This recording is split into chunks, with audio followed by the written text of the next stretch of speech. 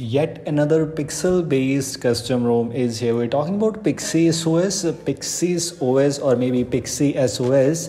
The thing is, this custom is also based on Pixel goodies. This is having all the Pixel goodies. It's having some extra features, and I will talk about all of those in this video. Stay tuned and make sure to watch this video till the end. This is having the latest security patch officially available for some of the devices. If it is not officially available, you can check out unofficial version on your device specific groups or Telegram channels or wherever you want to but here are the default things which are included here. First of all the default launcher as expectedly uh, it is a pixel based custom ROM which we are talking about so no doubts we are having pixel launcher pre-installed. Also it's not having the modded pixel launcher it's the stock default pixel launcher what is available in the default one which is of course very good because if you need a customized pixel launcher you can use any other custom ROM here comes the quick settings panel how the quick settings panel is looking like. If you're able to notice the quick setting panel's clock at the top left is a bigger one. So this is something different here.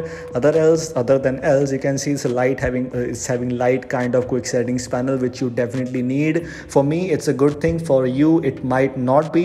It's totally up to you. If you need a black kind of quick settings panel you can definitely choose to use the dark mode if you want to. Other options are just basically same. Like as you can see Wi-Fi, internet, other tiles, Wi-Fi and mobile data separate tiles options are available actually.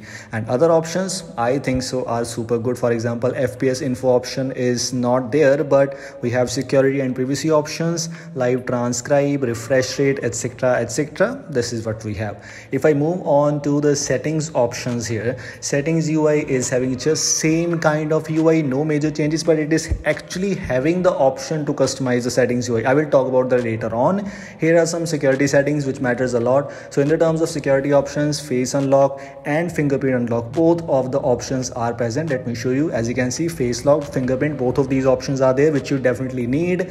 I don't use face unlock much on my device but if you use there is the option. And one more thing is if i move on to the more security options you are able to notice we have the app lock support and which is one of the most awaited features in a pixel based custom ROM so if you need a proper pixel based custom ROM having all the pixel goodies including this protect app feature which is app lock feature then this might be a very good choice for you. The all the useful features all the useful things which you need in your device are automatically present here. Moving on to some theming options which are present. Here comes the settings ui customization. As, just, as i just said that settings ui is just like stock but if you don't want that stock ui you can use this extra this is a different customized ui which you can customize which you can enable the option from theming sections and other options includes a custom monet theming. If you don't want to use a wallpaper based theming you can use your custom colors. Option is present here for you and i think so. This is also one of the useful things out there in a custom ROM. monet engine is a good feature which is present. If we move on to some other features which are included we have the swipe to screenshot support.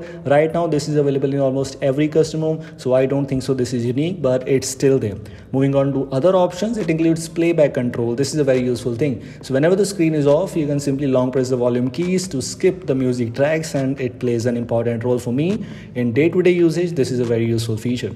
These are some laboratory options. You can see PixysOS laboratory which includes the window secure flag option. We have the higher fps in games unlimited photo storage because this is one of the best options out there and hidden apps feature. Hidden apps feature is pre present here which means you can hide the apps from the default uh, from the default launcher. But one thing to keep in mind you can hide the app system apps too. Sometimes you can't hide the system apps but here you can hide the system apps you can hide the user apps. So this is a very useful thing. A useful thing present app lock and we have the hide apps feature. I think so every useful feature which you need in your device is already present here. Some sound and vibration options also have the in call vibration options and vibrate on connect vibrate on call waiting vibrate on disconnect all these options are present. If i move on to the battery options battery percentage which you can enable on a status bar of course and the option to see the battery usage from the last full charge instead of last 24 hours from the past 24 hours. Two things are different and this one is battery usage from the last full charge and also the graph is looking something different here although i'm not sure how this thing is but yes this is very good. These are the things which are present in PixysOS and this is one of the useful custom ROMs if you want to try it out link for the official version is available in the description. If you don't want to use this thing you can simply skip. There are many other options available but this is not bad if you need a pixel based custom rom which is having all the useful features some extra features too then you can try out PixysOS this is all. Thanks for watching. Make sure to like and share this video. Make sure to subscribe the channel. And i will see you in the next one. Goodbye